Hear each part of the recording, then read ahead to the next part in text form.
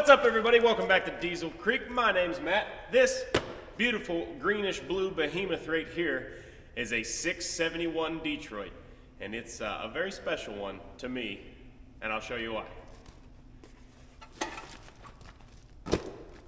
So, I am by no means a Detroit guru, but uh, Detroits are made by General Motors, or they were rather. I guess they still are, but they're uh, quite a bit different these days.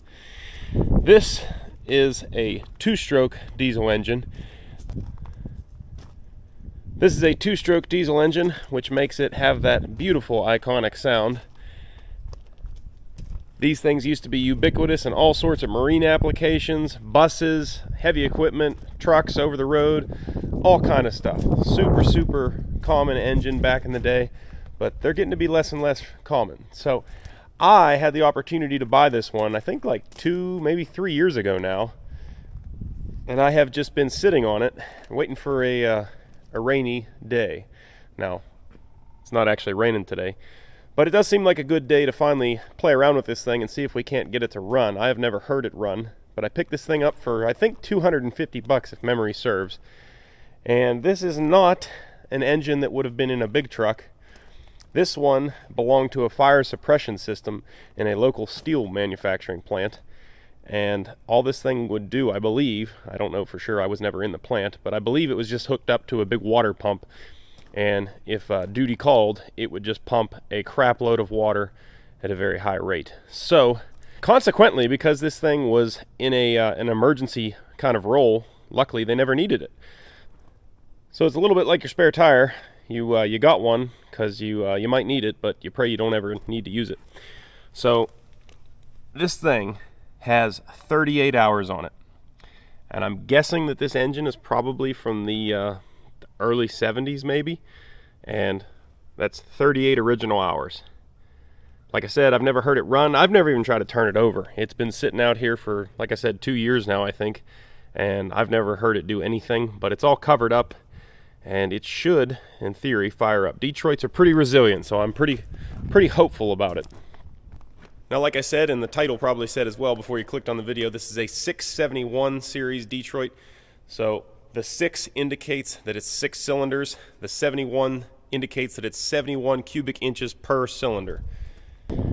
As I said before, I'm no Detroit guru, but the easy way that I use to tell the 71 series from the 53 series, which look pretty similar, um, is the valve covers. That's the quickest way for me to tell. If they got these big, well, I can't do it right now. they, theoretically, there you go. You're supposed to be able to loosen these by hand and open up the valve covers. Um, the 71 series have those, like uh, quick screws, and the 53 series, which I believe is older, um, and would have been 53 cubic inches per cylinder, they have panhead screws down around the valve cover, and that is what's in the big chicken back there, the Bantam crane that we have. That has a 353 series Detroit in it. So that's a three cylinder, 53 cubic inch. This is a six cylinder, 71 cubic inch. So quite a bit bigger engine here. This little sucker is heavy. I, I'm going to say it probably weighs almost 3,000 pounds the way it sits. And uh, yeah, I'm pretty excited to tear into this thing. So it's sitting here on a skid, and it's not really a quote unquote usable engine for something like a truck or a heavy equipment application. What are you going to do with this thing, Matt?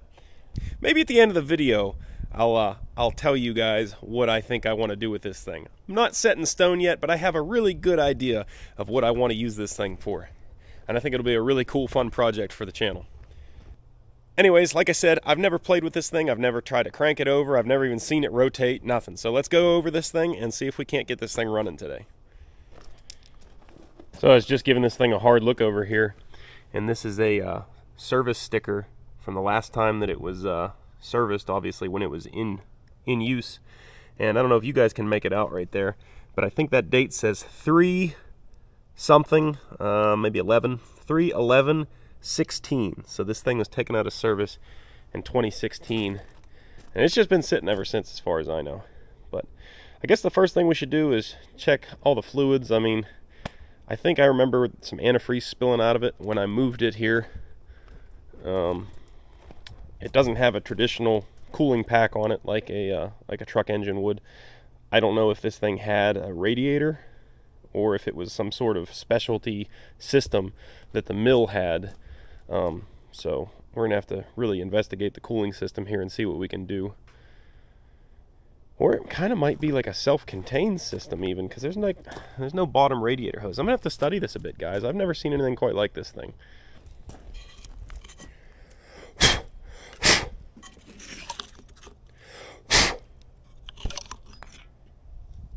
Well, yeah, look at that. That's very interesting here. Check this thing out, guys. Never seen anything like this. You'll have to drop a comment down below or maybe I might even Google it and let you guys know before the end of the video here. But there is some sort of a cooler going on down in this chamber here. There's little fins. It's almost like it's a small miniature radiator right on the front of the engine, which is interesting. And there is still coolant in it, and it looks nice and green, so that's a good sign. This thing was, I'm going to guarantee this thing was very well taken care of. So, I don't think we'll need to worry about that antifreeze. I think it's probably fine. It just needs topped off. There's hoses here some lines that are missing. I don't know if those went to a bigger radiator or what that really is there. Like I said, I've never seen anything. I'm to have to do some Googling. Let's check the engine oil here. And if memory serves, I don't think it has any in it. The guy I bought this thing off of was a buddy of mine. Where in the world is the dipstick? But the guy I bought this thing off of was a buddy of mine. He actually worked at the mill where this thing was in service at. And when they removed it from service, he saw it sitting there and somehow he acquired it. Um, but this thing has an oil drain line that runs out of the out of the oil pan right down here into the side of the uh, the framework. And he said he picked it up with his skid steer and didn't see this thing and busted it off. And uh, so he fixed it, but he told me he never, you know, put 10 gallons of oil back in it. So I think we're going to have to uh, do that today. But I still need to find a dipstick. Uh, there's got to be one. All right, I found the dipstick. It was staring me in the face, of course. Yeah, just like I thought.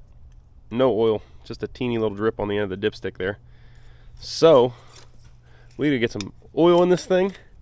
And because this engine's like brand new, we're not going to cheap out on that.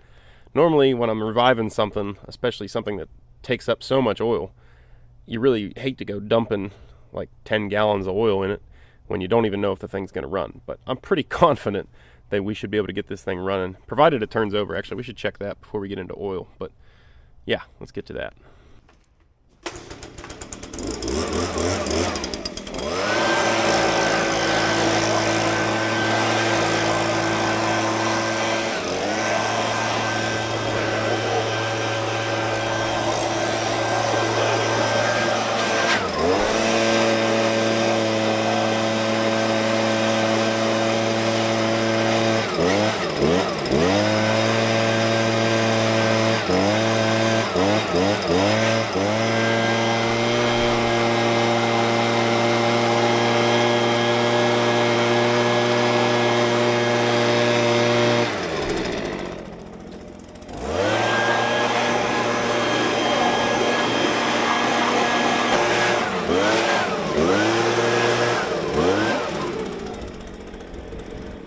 time for the all important make or break test here. I'm gonna throw the wrench on the snout of the crankshaft here and see if this thing actually turns over. Like I said, I was told that it did when I bought it. I bought it from a friend. I would hope he wouldn't lie to me. And it's also been sitting here for two years out in the weather. I had it covered up as best I could, but you know, these things happen. So uh, cross your fingers, dot your I's. This is the most drama you'll ever see me drum up in one of these videos. Will it turn? Oh, yeah! It was kind of stuck a little bit there. Took a took a lot of effort to get it moving. Oh man, it's still very stiff. Go back the other way here. Yep, it turns. awesome.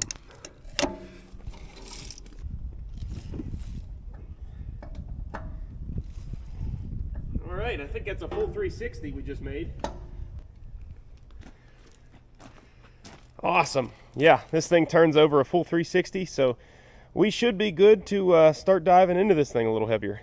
We're starting to get sprinkled on. I just checked the radar, and we've got a big blob of rain coming in, so we're going to move this party indoors. I'm so sweet, I could melt.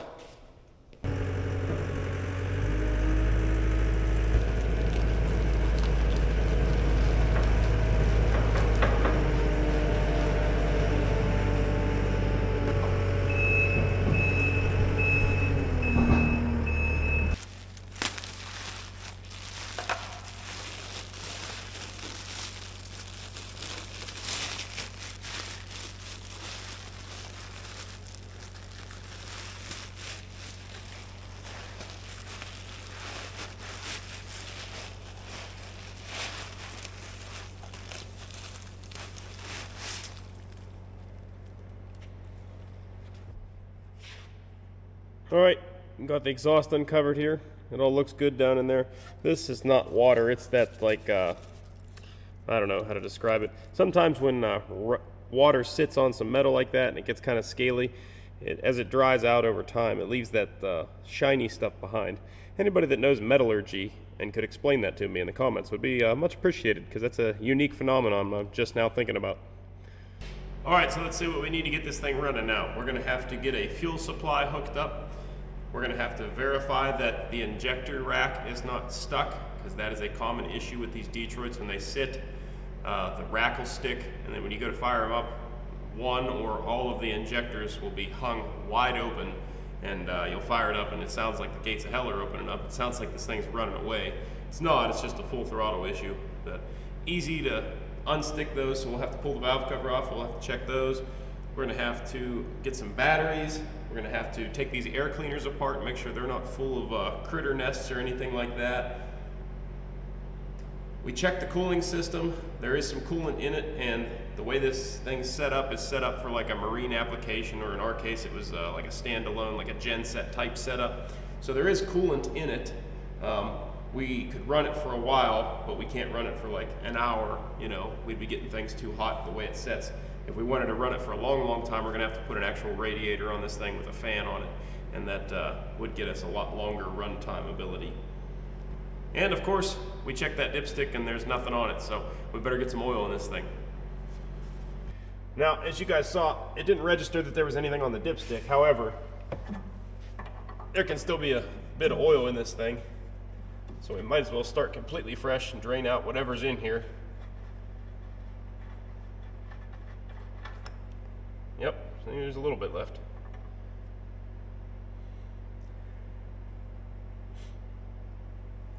I don't know how well you guys can see that, and the oil has definitely been run, but it's not not even very dark, so the oil that was in here was probably fine. I'm certain that these uh, oil filters have been replaced as well, so we're not going to worry about those right now either. Because this thing was set up as an emergency backup kind of thing, anytime you have a genset or like in this case a fire pump, anything like that, the, there's a maintenance contract, a company will come in and they will fire this thing up like every, I don't know, six months let's say, and they'll let it run for a little bit and then they'll shut it back down. And then every every year or every two years they'll come in and swap all the filters and fluids. Um, even though it doesn't need done, they do it anyways, just so this thing is 100% ready to go in the event of emergency. So with 38 hours on the clock, even if these are the original oil filters from this thing, uh, they're probably just fine. So we're not going to worry about those. We're going to put some fresh oil in this thing and make it uh, ready to run. All right, so as I said before, we're basically dealing with a brand new engine here. You definitely don't want to cheap out on the oil. Put some junk in there. So you guys have seen me use it plenty of times in the past. Going with Rotella T5. I run Rotella in just about everything these days. And I think the T5 gives you a really nice blend between the synthetic and conventional properties. And these, uh, these old diesels really seem to like it. The semi-synthetic blend really gives you the nice uh, added benefit of the long oil change intervals so you're not having to change it super frequently. It deals better with high temperature situations, which is great in the modern diesels as well.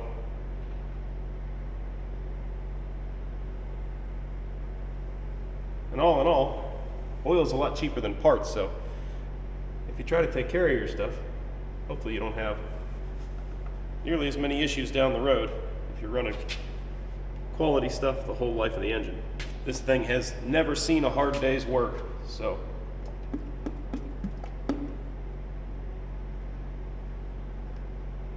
Best to break it in with the good stuff.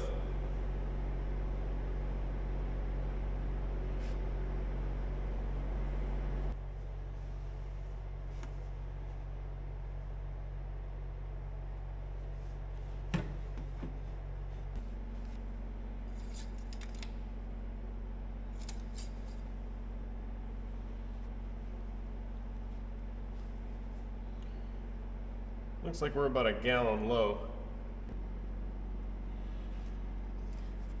All right, we got some good oil in this thing. Let's pop these air cleaners off of here and see what we got going in there. These are oil bath air cleaners. So as you can see right there, it says oil level and that there's supposed to be oil in here and that helps catch particulate and dust and whatever coming in through the filters.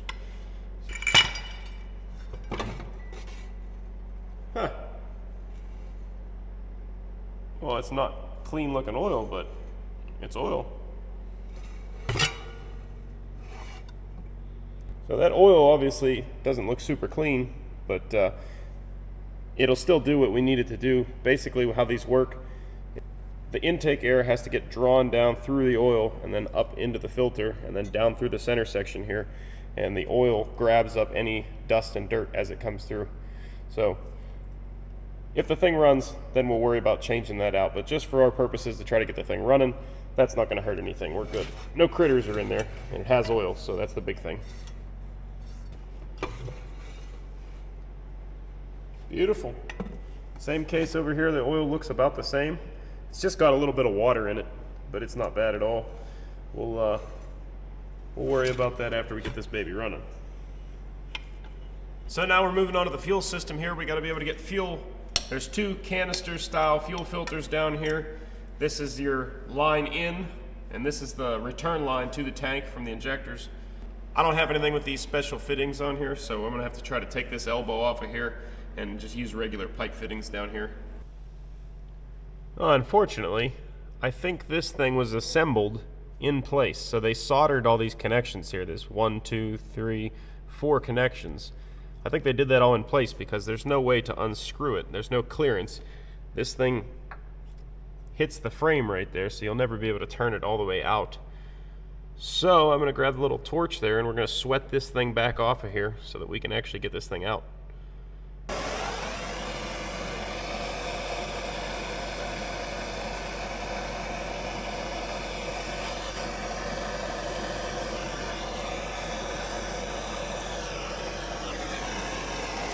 There we go.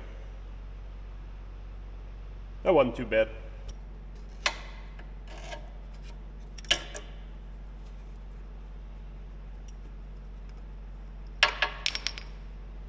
There we go. So we just got to get a uh, nipple fitting with quarter inch pipe on it. We can hook a rubber line right up to that.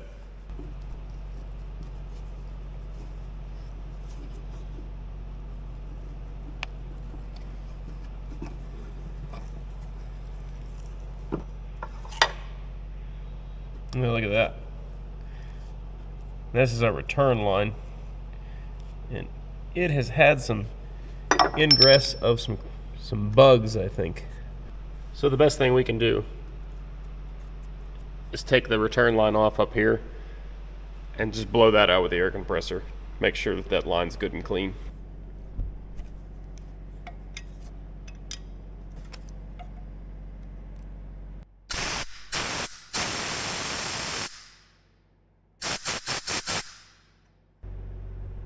Well, that's what came out of that line.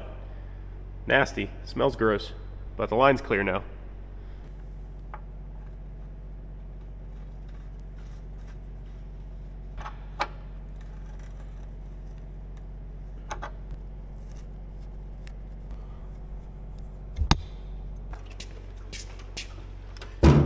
All right, let's get this temporary fuel tank plumbed in here.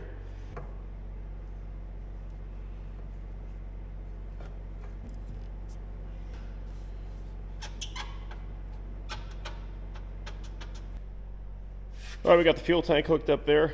Now all we have left to do is get some batteries, and then we gotta pop that valve cover off of there yet and make sure none of the injectors are stuck from setting.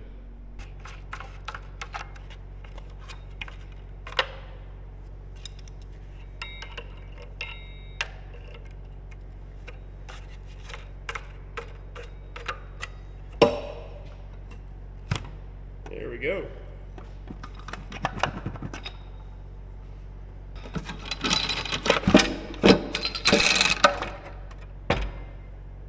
Aha!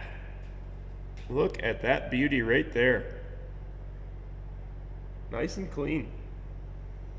Look at this. I can't believe it.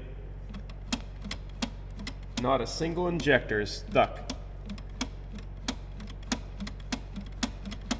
Usually these Detroits are notorious. If they set for more than a couple years, the injectors will stick. Man, these things are running perfectly. No issues whatsoever. So, I think we're ready to fire this baby up.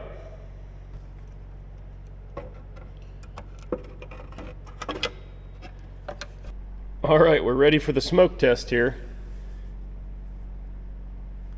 I got the positive hooked up here to my jump pack. I don't know if the jump pack's going to be enough to spin this thing over, but I don't feel like digging batteries out of something unless I have to. So we're going to give this a shot first.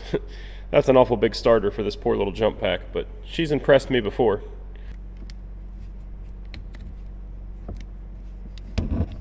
Well, I don't hear anything arcing out. Nothing's on fire yet.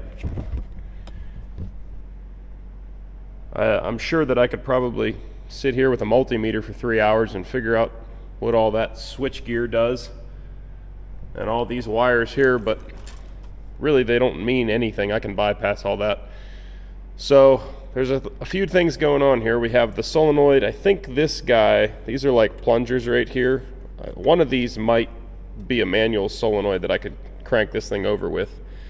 But besides that, we have goofy stuff going on here with the governor. This is some sort of a, I don't know, a solenoid maybe for oil pressure. I don't know. But this is the governor here. This is an external governor, and it has an electronic solenoid on top of it that runs the throttle here. This is the uh, this is running the rack directly. Also, a lot of these Detroits have a uh, blower shut off. So this thing right here, this is a solenoid that will close the air off to the engine. So when you shut it down, it does two things. When you hit the off switch, it probably let the rack come out to the shut off position as well as close the air flapper here. So if we crank this thing over right now, I don't think we're going to get any air because I think that's probably in the closed position. The last thing we have here is this is another throttle here up on the control panel. And I haven't exactly figured out how this works yet, but we got run, we got stop, and that's like the whole dial turning. You can see there's like some detents down in here. And I think that's what this spring-loaded deal is. Yeah, I think so. But then also this knob here is like a fine adjustment maybe. It says fast and slow on it. So I got to figure that thing out. But basically that thing just turns a rod which runs along the head here down into the governor. But uh, let's play around here and see if we can't get this starter to do something for us. I think it's it's one of these things here. This is nope, not that guy. Oh, Oh. Oh, it turned it over a little bit.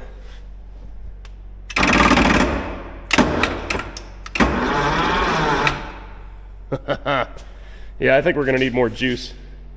The old jump pack doesn't seem to turn that thing nearly fast enough. Let me scare up some batteries and see what we can do here.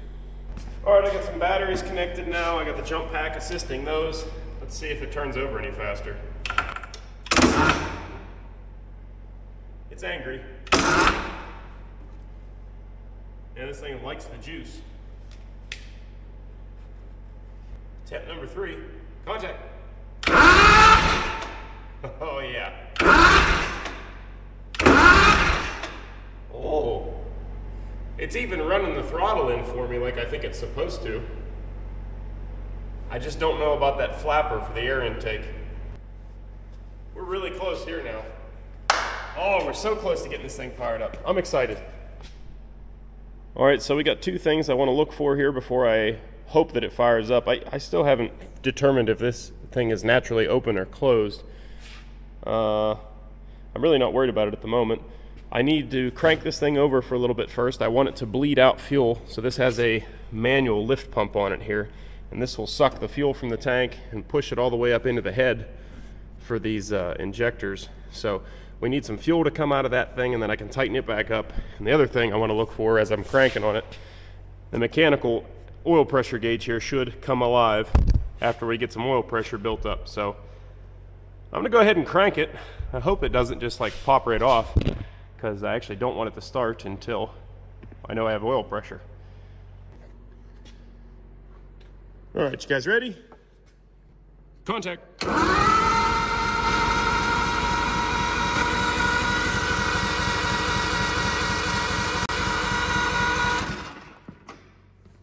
Oh, yep, we got oil pressure coming up. That's good. Awesome. No fuel yet, though. Keep cranking on her. If those canisters are empty, which I wouldn't think they would be, but if they are, it'll take a little while to, uh, yeah, fill those up. Contact! Contact.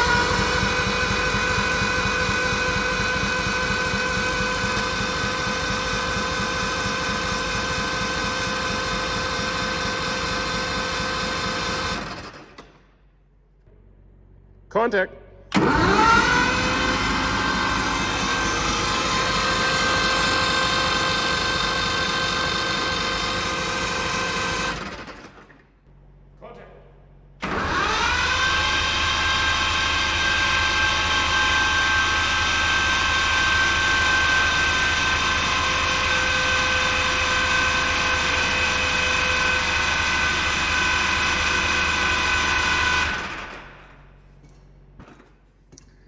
Still not seeing any fuel coming out of there. I'm starting to wonder if the stinking fuel pump is dead. All right, I actually cracked the fitting loose right there at the mechanical pump now, so we can see if we're getting any progress at all. No fuel's dripping out as it is, so I have my doubts. But uh, anyway, contact.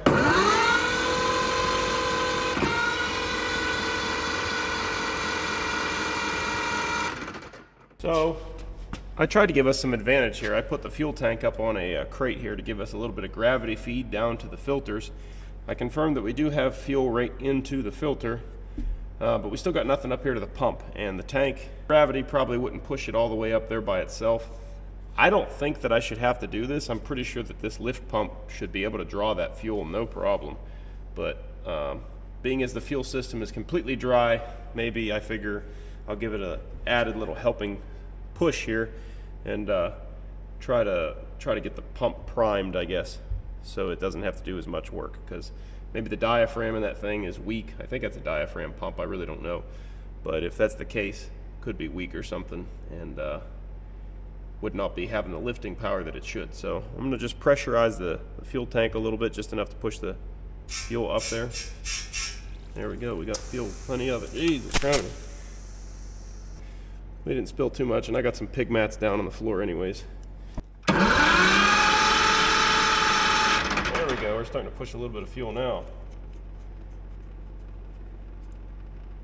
Must have just been the issue. Got those all tightened up.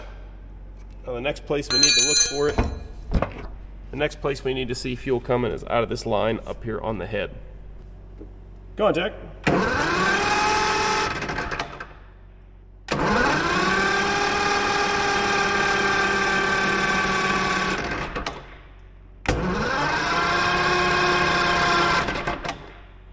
Yeah, I think we're going to have to put these batteries on charge and swap them out for a fresh set.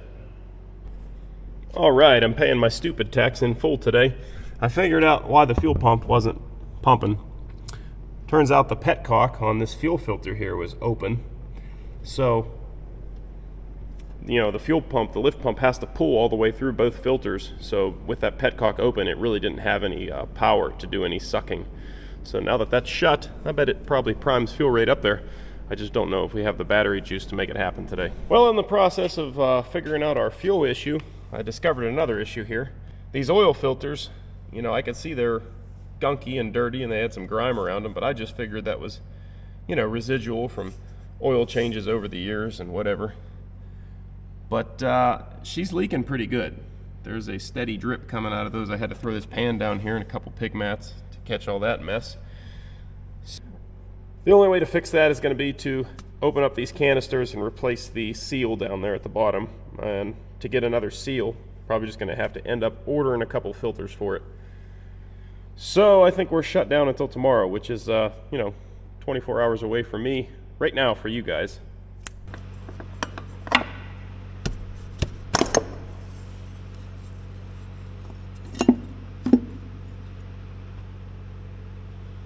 Here's your gasket and it was not engaging the lip all the way out there.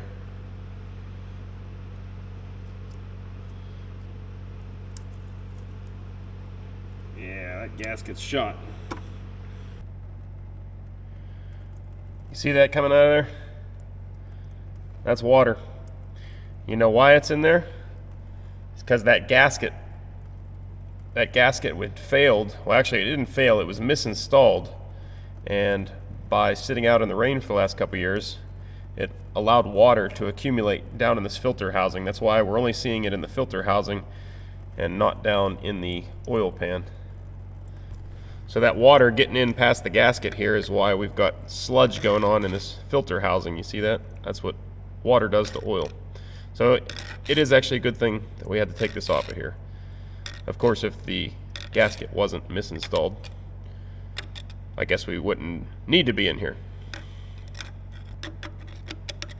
Anyways, there's petcocks on the bottom of these filter housings that should allow this oil to drain out of here, but the goop that's in the housings is keeping it from draining. So, yeah, I'm trying to get these flowing again.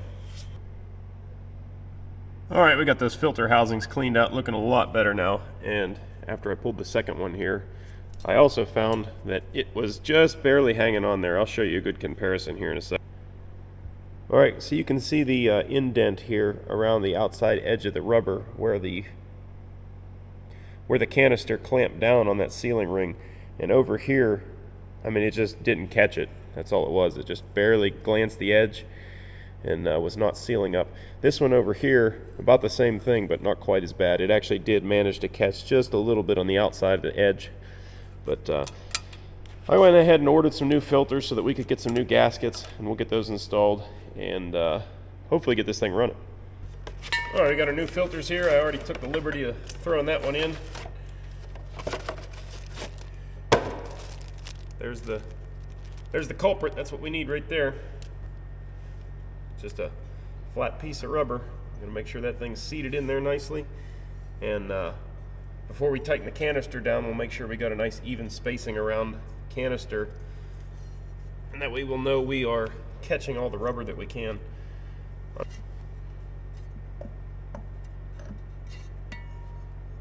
With these cartridge types, I can easily see how they manage to do that. You do have to kind of pay attention if you're just in a trance and changing filters for the 20th time in a day or something. You could very easily not pay attention and have that thing clamped down on the edge of the gasket. Now we're finally ready to crank this bad boy up. Man, I'm excited. Oh, I can't wait to hear this thing fire up. Okay, These batteries just finished charging. We got our oil filters reinstalled. Last thing we need before we can actually hopefully get this thing to fire up is we just need to get a little bit of fuel bleeding out of this line right here. So I'm gonna go ahead and crank it over. Contact.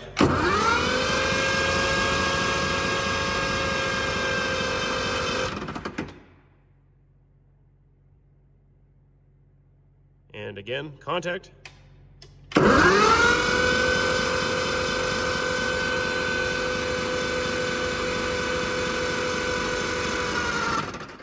Where's the fuel at? Now I'm getting irritated here.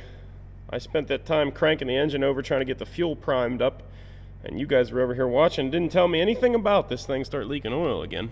You guys got to scream louder. Couldn't hear you. So, there's some more expensive new oil lost. Uh, I'm trying my best to collect it there. I got the petcock open, and I'm draining the filters back out. I mean, I, I don't understand that. I even checked thoroughly Looked like we had good contact on our gasket all the way around, but she's still leaking. So take that back off of there, have a little look-see. Okay, I've been having one heck of a time getting this thing to bleed itself out, the fuel system that is, but I think I finally got it. I see a drop of fuel up there on the, uh, the nut going into the head. And crank this thing over a little bit more and hopefully we see some fuel come out there. Contact.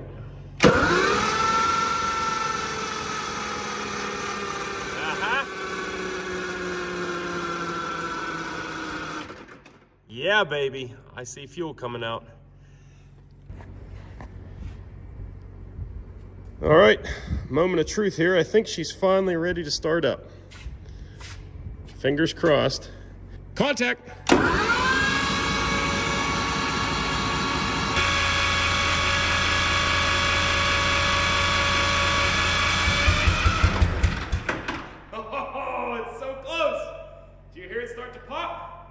Uh, better check our oil filter, make sure it's not bypassing.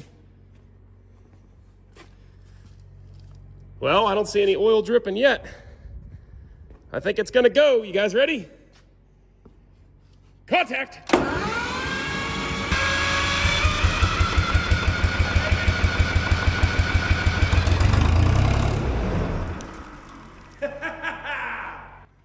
oh, it's gonna go now it's gonna go. It's priming out the injectors. As soon as it gets the air out of the lines, it's gonna run.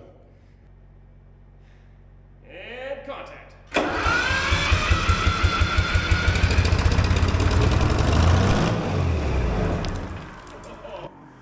this thing sounds mean.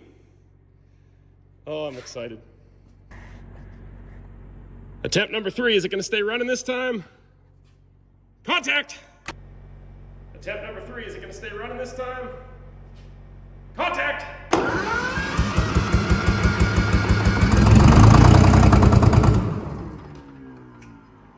Oh, I think, I think our electronic uh, throttle is the only issue here.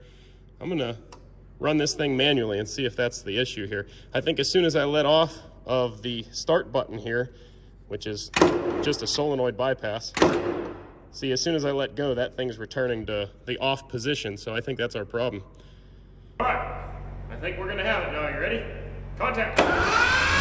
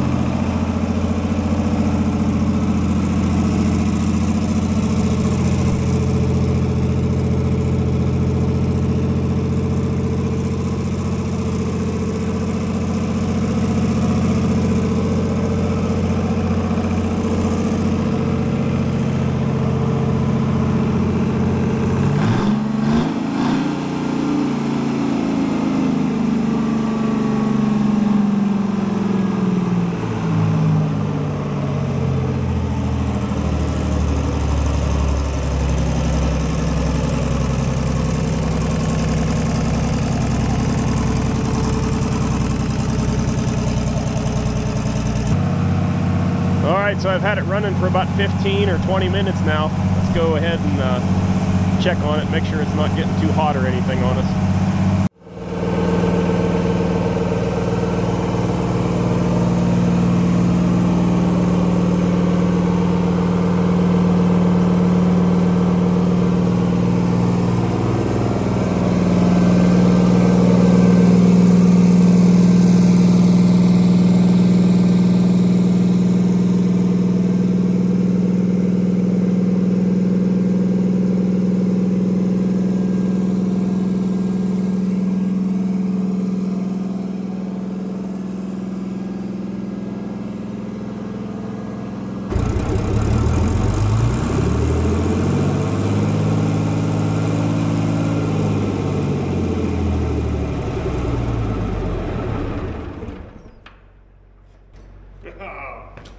Man, this thing is awesome.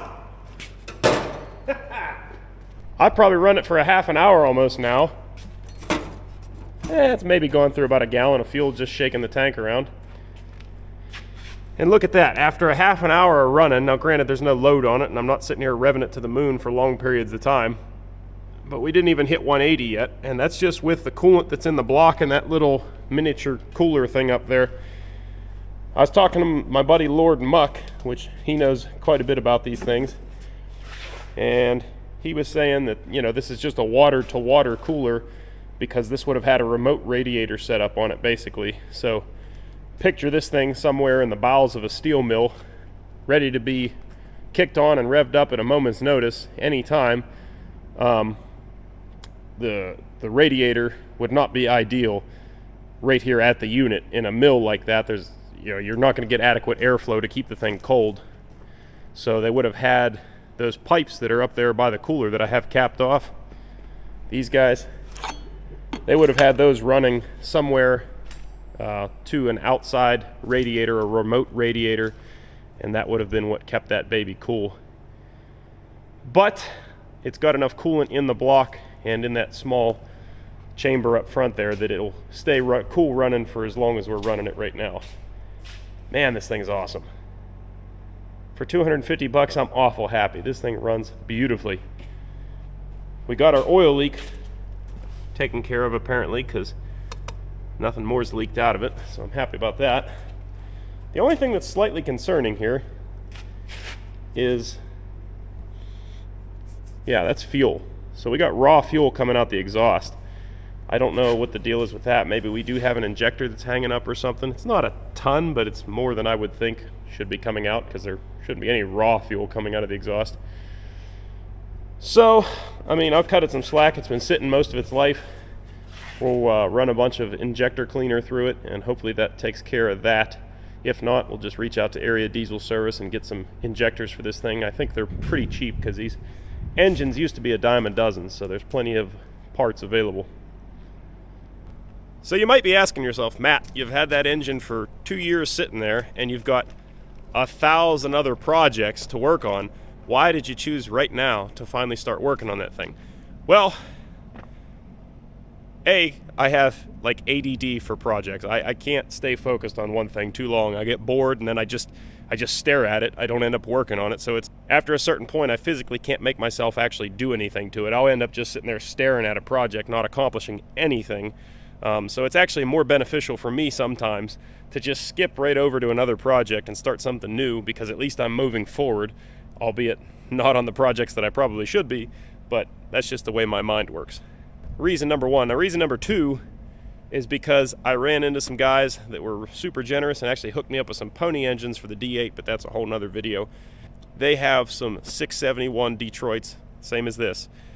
Point is, if I needed any parts for this thing, I could probably get them from them for a reasonable price. So I figured I'd drag this thing out here, give my mind something else to think about for a little while, and uh, start scheming up what exactly I want to build with this thing because it's going to be cool. During the process, I figured I'd start accumulating a parts list. If I needed anything, I'd talk to these guys and see if they could help a brother out.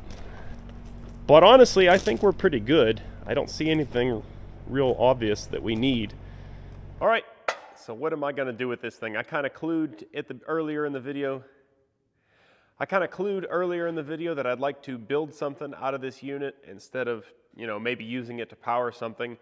Uh, I guess it would be a pretty good engine for something like a drag line or a crane or something like that, but it's really not well suited to go into a truck per se. It's only 175 horsepower according to the uh, engine ID tags.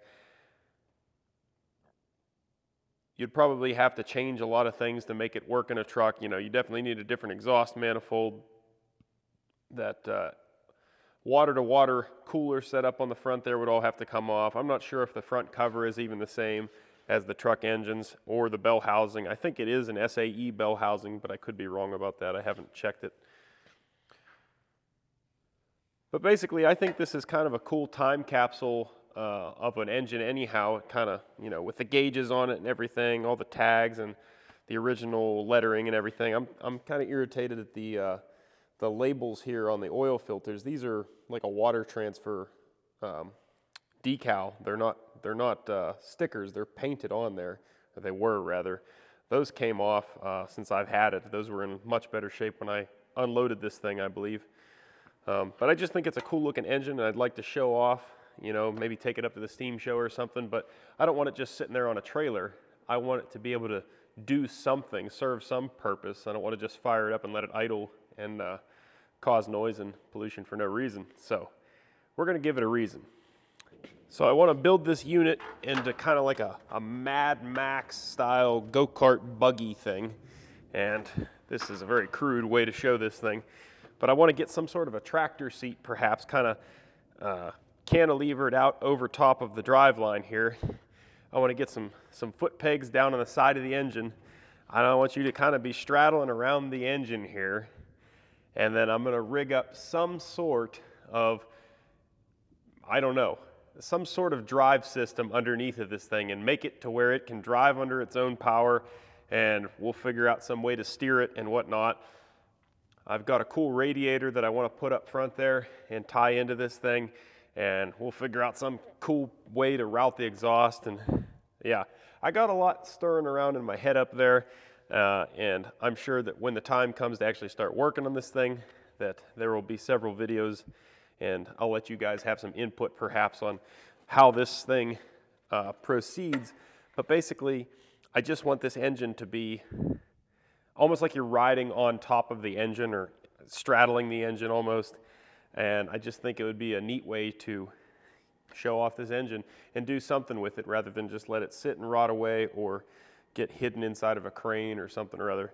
And whatever I do to it, you know, could just as easily be undone in the future if I needed this engine for something more purposeful, like a crane or a piece of equipment or something, and I needed the engine, you could strip it all back off and have your engine to go do whatever you needed to do. So I'm kind of torn between some big, like, uh, agricultural tires or something, you know, kind of this stubby little short, you know, I, I don't, I can't. I don't know that I have the words to describe exactly what I'm talking about, but you know, just this goofy looking little weird go-kart thing. And maybe I could even rig up a blade on it or something uh, if I can make the drive line stout enough. Um, so one of the challenges immediately we would be facing is, you know, how do you take the power from the output shaft here and drop it down into a drive line? I don't want to make the thing any longer. In fact, I want the axles to kind of be underneath of the engine because I don't want it to be in something. I want the engine to be the framework of this machine. So those are a lot of challenges we're going to have to face in the future here. But basically, I'm thinking about changing this out to a sprocket, running a uh, drive chain straight down into maybe the rear end of something else, and then we just have to figure out uh, a good way to make a clutch system on it. So this PTO that's on here, you know, with this output shaft, it's, it's not a clutch actually. It's, it has a cover on it that says clutch adjustment because it's the same cover that it would be if this was an over center clutch. Um, so if I could find an over center clutch that would bolt right up to this thing, that would be ideal. But as of yet, I have not been able to locate one. But like I said, those are just a few of the many, many challenges that will await us in the future when it comes time to actually start wrenching on this project. So, so in the meantime, I'm going to keep scouring the internet looking for uh, neat pieces to the puzzle here and find ways to overcome some of those problems to get us at least started in the right direction. I think I've got a lead on a really cool piece to the puzzle already. So I don't want to say too much. I don't have them in hand yet. So once I get them, uh, maybe we will get started on this thing. I just think it's a really cool project and I'm uh, pretty excited about it. Anyways, guys, I think that about wraps this one up. It's probably turned into quite a long video just to get an engine started, but ultimately I think it was pretty rewarding. If you like this video, do me a big favor, hit the thumbs up button down below the video there. It really helps the channel out, doesn't cost you guys a dime. These videos often get hundreds of thousands, if not millions of views, and yet only a tiny percentage of you bother to hit that little button. And I know you like it because you keep coming back. So if you would, do that for me. If, if you want to help to support the channel in another way, head on over to dieselcreek.com, pick yourself up some sweet merchandise over there. We're working on some new merchandise over at the store. There's going to be new things funneling in here over the next month or two. We have St. Patrick's Day shirts up for sale right now at the store. So if you want to get your Irish on, celebrate the Diesel Creek way for St. Patrick's Day, get yourself a t-shirt over there right now. They are available for a limited time and once they're gone, they are gone. So if you want one of those shirts, check it out. The link's down in the description to the store, dieselcreek.com. But anyways, guys, that's all I got. So as always, thanks for watching and I will see you on the next video.